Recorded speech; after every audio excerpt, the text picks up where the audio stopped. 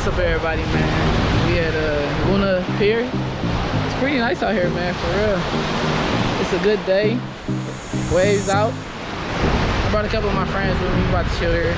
Now, this was my first time at Luna Pier. It's a beautiful pier up here in Monroe, Michigan. Good place just to lay out here on the beach and have a drink. Waves are coming in, so you can have a nice walk on the beach if you want it. There's a lot of families there, so if you had kids, you could definitely bring them out, especially on a day like this. They also have Airbnbs right across from the pier, so if you wanted to stay, you were more than welcome.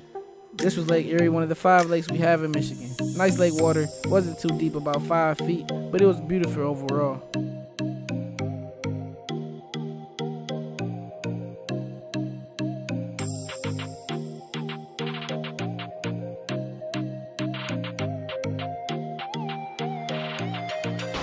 I guess you could say I'm tanning.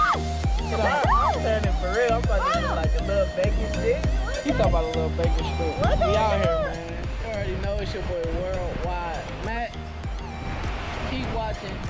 Subscribe if you just now watching. And always give me a thumbs up. Comment, let me know what you think. Love y'all. Appreciate y'all. Worldwide Matt out.